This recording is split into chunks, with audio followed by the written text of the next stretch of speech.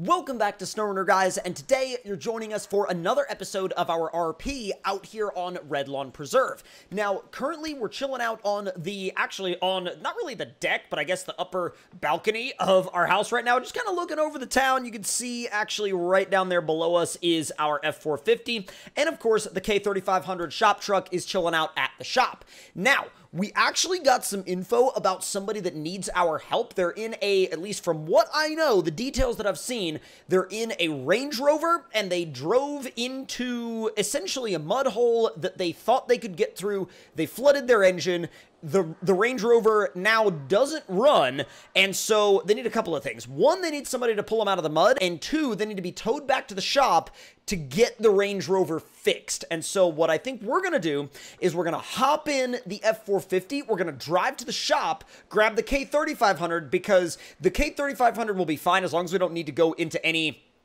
crazy rock crawling or anything like that, but the setup on it right now will be fine for what we're going to do. We just need to hook up the trailer to it, drive out there, and put the Range Rover on the trailer and get it back to town. I also heard that for whatever reason, the, uh, the hinges for the hood are also broken, but we'll get a little bit more into that once we get there. So for now, let's drive to the shop.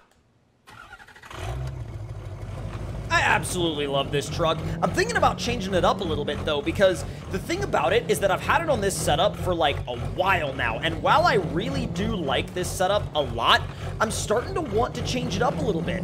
And I think we also really do need to add a couple more things to the fleet. One of those needs to be a medium to heavy duty wrecker, like a medium to heavy duty tow truck, and then another one needs to be sort of a emergency rescue truck that is a little bit more off-road equipped than both this and the K3500. I'm thinking in the neighborhood of maybe uh, doing a Tundra because there is a really cool uh, rack system available, like a gear rack system um, that we can get for the Tundra that we can actually use to carry extra fuel, extra repair points, you know, uh, really any part that someone might need. But let's bring this guy out here to the shop. And we'll go ahead and just, you know, we won't leave it in high mode on the suspension and shut it down. Now let's hop in the K3500, head back to the house, and grab our trailer. I love the way this thing sounds. It sounds so good. All right, let's back you up.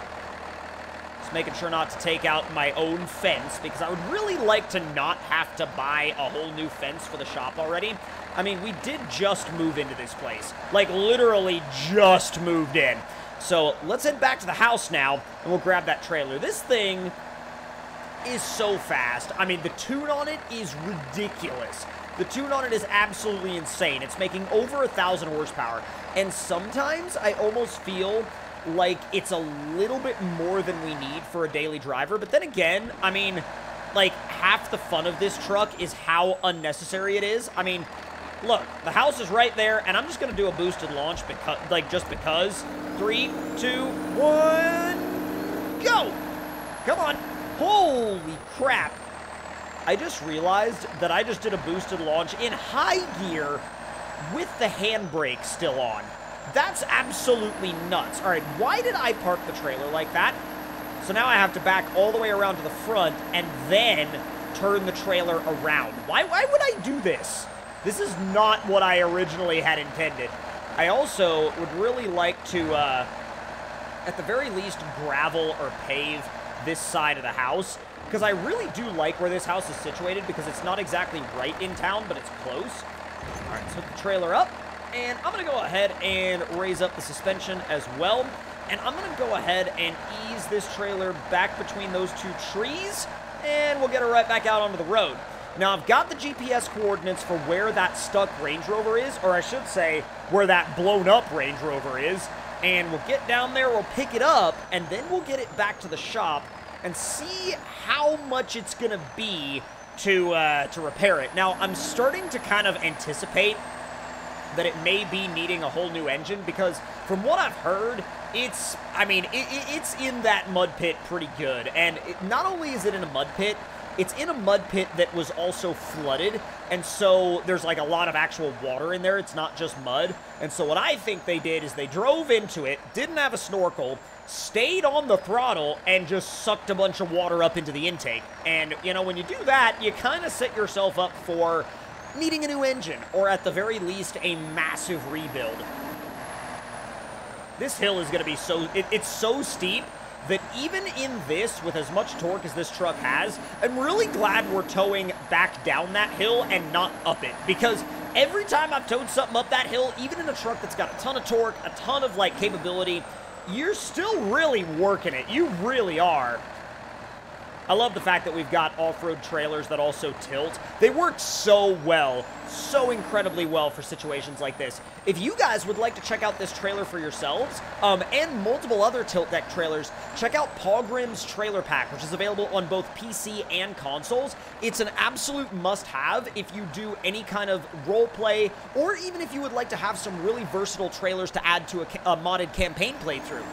So I think we should be coming up on where that, uh, Range Rover is. Let's see if we can see it yet. We should be seeing it momentarily. Now, right here, you can either go straight to head to the ATV park, you can go left to get onto some trails, or you can go right to get onto some other trails. And I think they may have misjudged the trail rating system. Oh, yeah, there they are. Oh, boy. Well, y'all got your, uh, holy crap. They definitely have their work cut out for them getting out of there for sure. All right, so let's get this trailer into position. So let's back you around. These trailers are really short, so turning radius-wise, you can absolutely just whip them right around on a dime. You just have to be really careful with that because you can also jackknife them really quick. Not bad. All right, let me get just a little bit better lined up. All right, that should work. That should work pretty easily. Now, we're going to tilt the trailer down. And we're going to shut the truck off. And then now, we're going to go take a look at this, uh, I'm going to go take a look at this Range Rover. So, what is, what is exactly going on here? So, uh, they've flooded it out up, almost all the way up past the taillights. The interior is soaked. There's water all, oh my god, there's water all over the interior. And, oh yeah, uh, look where the intake is. Look where the intake is. This thing, this thing is blown up. This thing is absolutely 100% blown up. Well, I'm glad that we brought the trailer to get, like, to actually winch it up onto the trailer, but here's the thing we certainly do not have enough tools in our K3500 to get this thing even remotely close to running right here.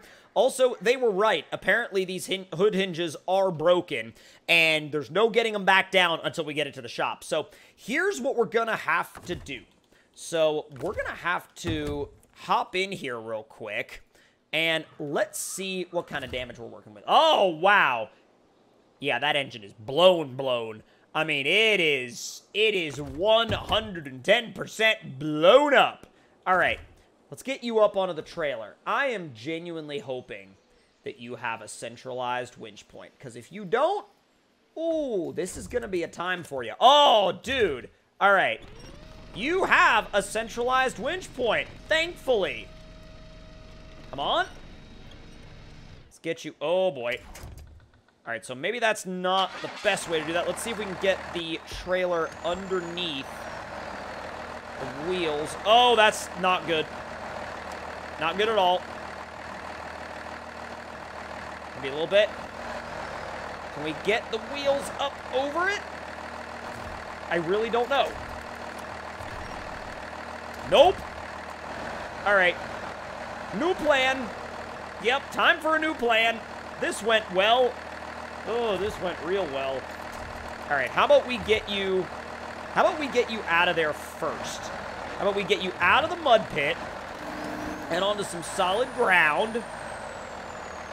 Nice and easy. Okay, now that will probably work a whole heck of a lot better than what we were just doing. That may get the wheels up. Yes, that got the wheels up. Perfect. Dude, all right. I'm so happy we actually got it up onto the trailer. Now, now we got to make sure that we go ahead and pack it. Can we not pack it yet? But we probably can't. That should be fine now. Now we should be able to pack it. Yes. All right. Perfect. And now, since the parking brake on that is set, we'll tilt that trailer back down. We'll pack it up. And then now, as you can see, we are good to go. Well, as good to go as we can, uh, as good to go as we can be.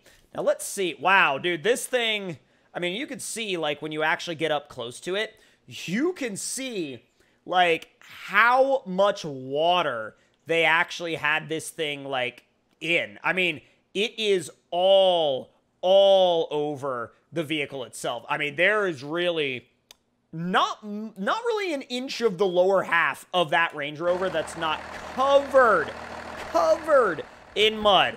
All right, ready to head back to the shop? Let's not roll backwards, Beans. All right, here we go. And now, honestly, I'm not really too concerned about getting this thing back to the shop. It's really not all that heavy in the grand scheme of things, and this thing, I've pulled way heavier with this truck before, so weight is definitely not a concern. And we'll see what they end up needing when we get it back to the shop, but I would venture a guess it's going to be a new engine. Ooh, easy. Especially with these engines. I don't even know if you would be able to rebuild one for less than the cost of just replacing one. Now, granted, I haven't really looked into Land Rover, Range Rover engines all that much, but I would assume that it would just probably be cheaper to pull an engine out of a wrecked Range Rover and throw it in this, like a wrecked low mileage Range Rover and throw it in this one, than it would be to, it, like, you know, to bring in all the parts to rebuild this engine. But then again, I don't really have many, like, you know, I don't have much experience with these, so we'll see. That hill is so much easier going down. Imagine that. All you need going down is decent brakes and you're good. And a decently well-balanced trailer, but fortunately, we have both of those, and we have no issue with that whatsoever. Imagine how this would look rolling through town. A Range Rover with broken hood latches and a blown engine on a trailer that uh, you just can't close the hood. And I still don't know how they broke those hood latches. I mean, I guess we'll, that's one of the other weird things we'll look into when we get it back in the shop, but I think it'll be fine. I think it'll be a-okay. Those shouldn't be difficult at all. All right, pulling up here. Should we go the long way around or the... I think we'll go the more direct way. Yeah, we'll make a left here, go, go the more direct way in through town. Easy. I love how, like, all the torque behind this truck can just, anytime you want a little bit of extra forward momentum, no matter how steep the hill really is, you can just ease right into it and it's gone, even with weight on the trailer.